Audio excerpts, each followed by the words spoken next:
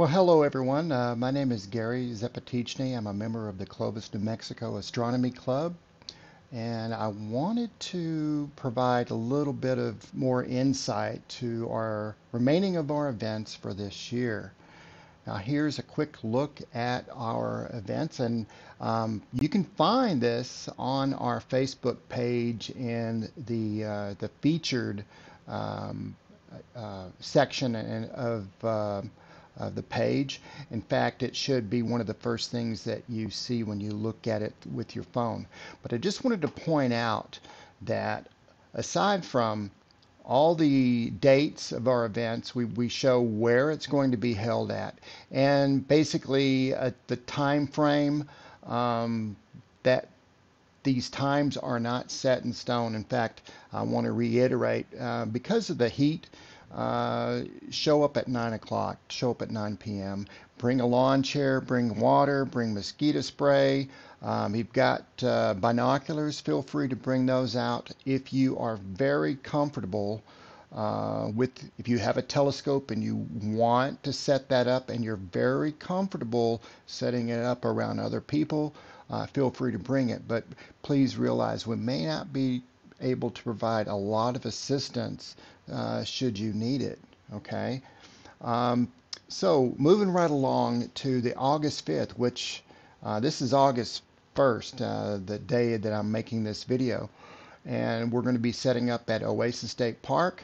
And um, also, uh, just wanted to point out that August 12th, uh, going into the morning of the 13th, will be the peak time frame to see the Perseids meteor shower. All right, usually about two, going getting up uh, at a dark place uh, to see the meteors. You're not going to see too many in, in, in town if you have a lot of light from in town. Uh, Ned Houk Park is a good place to go uh, for that. Um, August 27th, uh, Saturn will be at opposition, uh, meaning um, Earth's right going to be right in the middle uh, between Saturn and the Sun, and so you're going to see uh, the full, uh, the best possible view of uh, Saturn. And if whether you're looking at it through a telescope or imaging, it's it's the best time. Now, the days leading up to the 27th and the days immediately following it are still really good times to view uh, Saturn for this year. Um, so on August 5th, after 10 p.m., Saturn will be a viewable, viewable uh, for observing. In, in other words, it's going to be above the horizon. Now, Jupiter won't be available or above the horizon until uh, just after 11. Now, uh, not just viewable on August 5th, but viewable through the remainder of the season. We'll be able to see uh, the Andromeda Galaxy, um, the double cluster, which is an open star cluster. Uh, it's actually two of them in the eyepiece. Um, the, uh, the dumbbell and the ring nebulas, um, the Eagle Nebula, uh, Ptolemy's cluster, which is an open star cluster, Albireo, which is a beautiful double star, um, globular clusters uh, M92 and M13, and the wild duck cluster, which is M11, and, and a lot more that we'll be able to show you um, from August 5th on, on through the remainder of the season. At uh, August 18th, uh, we'll be at Ned Houk Park. Um, and Saturn will be already viewable for observing. Uh, Jupiter, however, won't be available till just after 11. Um, Again, the same objects in the night sky will be viewable, and we'll be adding to these, but these are the big heavy hitters that we'd like to show people. September 9th, Saturn will be viewable for observing, and Jupiter won't be available till just after 10. Again, the same objects plus, plus a few more. Now on September 15th at Ned Houk Park, um, Saturn will be uh, viewable for observing, and just before 10, Jupiter uh, will surface.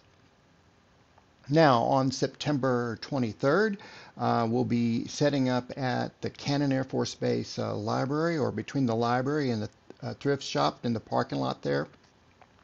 Uh, because we're going to have a lot of lighting, uh, mainly from the, the, the, the BX, uh, viewing will be limited, um, but um, we'll be able to see the moon and um, Saturn.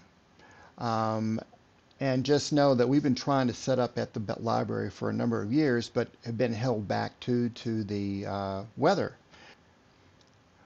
Okay, October 7th. This will be at Oasis State Park, and this will be our last park event for the season, but we're not done with it yet. Um, Saturn and Jupiter will both will be viewable before 9. And again, we're going to have um, the the big heavy hitters that we've talked about plus plus more.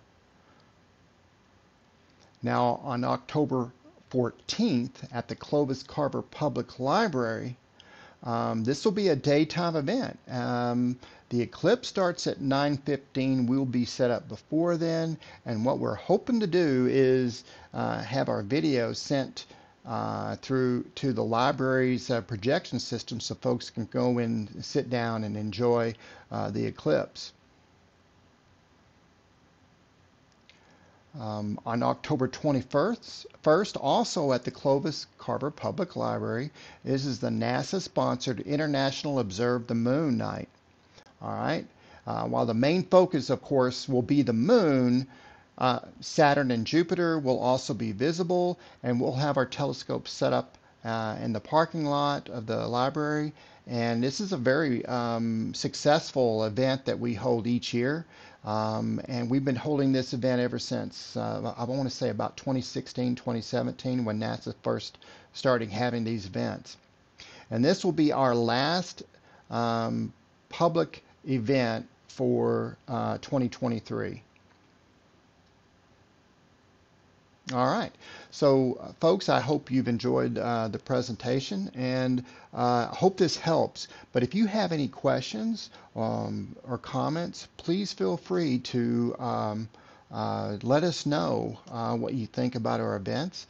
If you uh, want us to set up for um, a school or a church, we will be happy to, to do so. We just got to work that in and see what's see what's available. Well, thank you very much, folks. I appreciate your time and hope to see you out there under the stars. Bye bye now.